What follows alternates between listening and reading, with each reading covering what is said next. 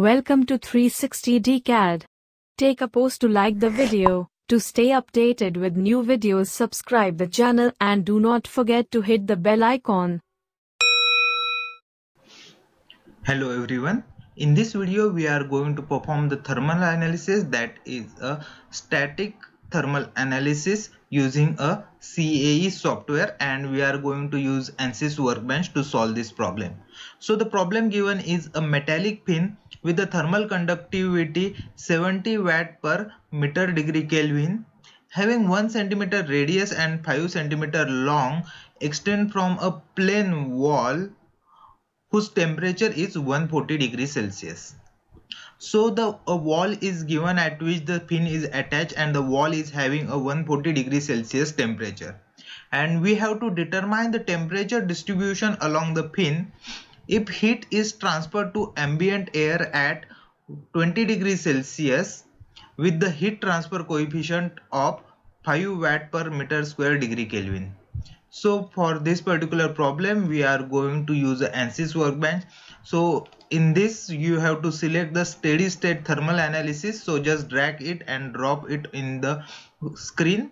Then select the engineering data to define the material properties. So here what we have given in the question is thermal conductivity is 70 watt per meter degree kelvin. So this data we are going to enter over here.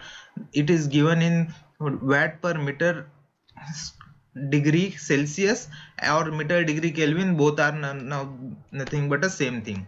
So we will enter the value of 70 watt per meter degree kelvin and we will just close the engineering data.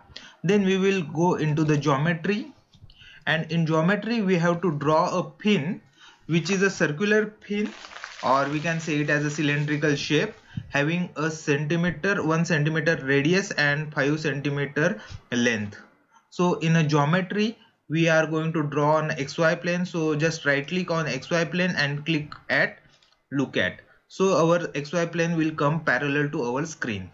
Now we have to go to the sketching and draw one particular circle. Before that we are going to change the unit system to millimeter and draw a, a random circle.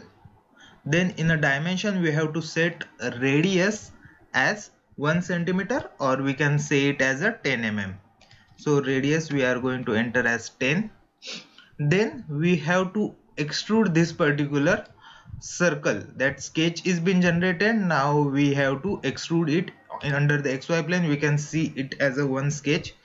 Now click on extrude command select the sketch and click on apply in the geometry so your sketch is been selected and it is been extruded by 30 mm but we required 5 centimeter that is 50 mm. And click on generate. Right now it is showing zero part and zero body. When we click on generate it will show one solid body and one part. So our geometry is completed. So close the design modular. It will save the part automatically. Now let's come back to the our um, steady state thermal problem now we have to double click on model to define the properties what we have been uh, given that is it is attached to the wall which is having 140 degrees Celsius and we have to apply the ambient temperature to 20 degrees Celsius and the heat transfer coefficient is 5 watt per meter square degree Kelvin. So these properties we have to apply to our problem. So our mechanical has been open. So we have to first generate a meshing so just right click on mesh in and click on generate mesh. We will go with the default mesh size. Then we have to apply a temperature of 140 degrees celsius on one side of a pin. So right click on steady state thermal select insert temperature and we are going to select the one side of the pin which is attached to the wall and in the geometry click on apply. And we have to set the temperature of geometry to be 140 degrees celsius.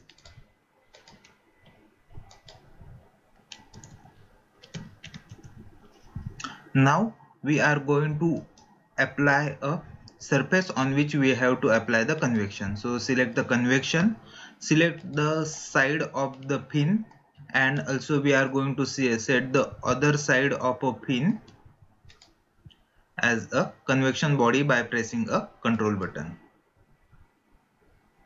Then in the geometry click on apply. And in the film coefficient we are going to set 5 Weber per meter square degree Celsius. And ambient temperature which is given to us is nothing but a 20 now we have to right click on solution and click on solve so all the mathematical equations are being generated and solved simultaneously to calculate the result. So depending on your system and number of nodes and elements you have created it will take some time. So right click is been given means our solution is been done. Now we have to right click on solution to check out the result. So go to the insert thermal and temperature to see a temperature distribution. So right click on a temperature and click on evaluate all result.